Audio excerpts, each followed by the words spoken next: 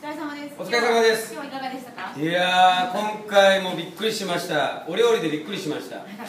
キノコのことを俺普段バカにしてんだなと思いました。い。やなんかキノコっていつもこうなんかお料理のなんか脇役みたいなイメージでしたけど、はいはい。今回キノコが持ってる力がもうフルに出てそうですね。ねえキノコが主役の料理が生まれてそれがしかもうまいっていう。そう。